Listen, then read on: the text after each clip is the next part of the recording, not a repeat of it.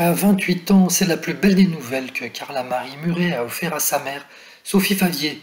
La jeune femme a dit oui à son compagnon Anthony, et pas n'importe où, comme l'ex-Coco Girl l'a annoncé sur son compte Instagram, après un mariage civil à Neuilly-sur-Seine mercredi dernier.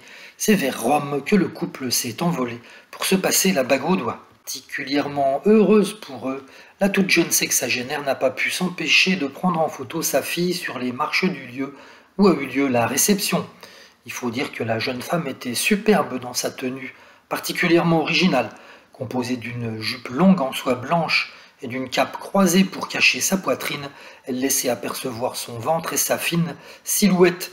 Un choix super élégant et sexy. Il faut dire que la jeune femme qui s'y connaît parfaitement en mode et qui a même créé une marque de maillot de bain, Dola, n'avait pas lésiné sur les tenues de son histoire d'amour avec l'ingénieur Jean-Michel Muret, dont elle est aujourd'hui séparée, la jeune Carla est très proche de sa célèbre maman.